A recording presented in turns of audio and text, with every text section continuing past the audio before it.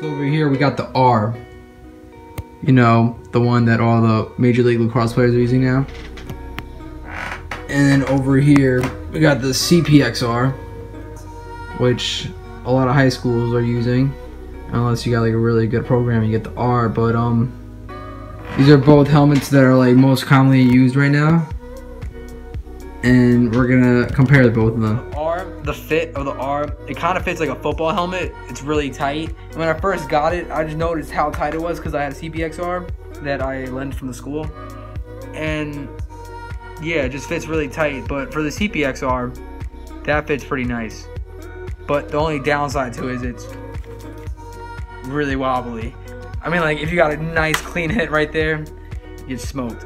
But, like, I'm not saying this is going to prevent a concussion because all helmets aren't perfect. But, um, I'll tell you what, the comfort on the R is pretty comfy. But it's not, like, it's heavy. Like, the CPXR, it's not as heavy, right? So two big differences about the face mask is that like for the CPXR, it goes up. And as for the R, it goes down. And another thing I noticed that the bar is missing over here. So that the chin strap can go up. And over here for the CPXR, the chin strap has to go through the bar. And other than the chin, this is a separate piece. While the chin is all in one piece and just goes straight through the back. The backs are pretty similar as they both have the dolphin fin back here. And other than that, they're pretty much the same in the back. Like you can't even tell the difference. So it has a um, 7 dual technology, the R.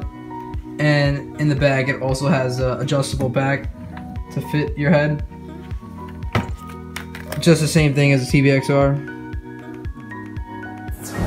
So these both helmets, they're really good, and they're made by Cascade. And um, honestly, if you're like looking for a cheap helmet and you're not like really experienced, I would go for the CPXR. And if you're really experienced and you just want to like look good, play good type thing, I'd definitely try to get the R. And that's all I gotta say about both of them. The Lax Spot, out.